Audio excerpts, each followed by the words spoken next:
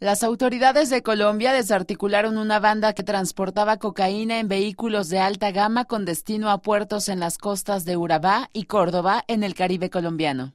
Policía Nacional de Colombia, en el marco de la operación Agamenón contra el Clan del Golfo, interceptaron 10 de los vehículos en diferentes procedimientos antinarcóticos, que transportaban la droga entre las llantas, carrocería, techos, pisos y accesorios metálicos de los carros lujosos. Además, sostenían una alianza con cabecillas del clan del Golfo para que cuidaran los laboratorios y custodiaran el transporte del estupefaciente. Continúa, por supuesto, la investigación en el tema del de, eh, tráfico de estupefacientes, porque aquí lo que estábamos evidenciando era que les encantaba el sector del Urabá, pero ahora cubierto, como está por la operación Agamenón, estamos viendo el desplazamiento de esta organización tratando de enviar droga un poco más hacia el norte del país. En eso estamos trabajando y de la mano de la Fiscalía General de la Nación seguiremos dando golpes al narcotráfico.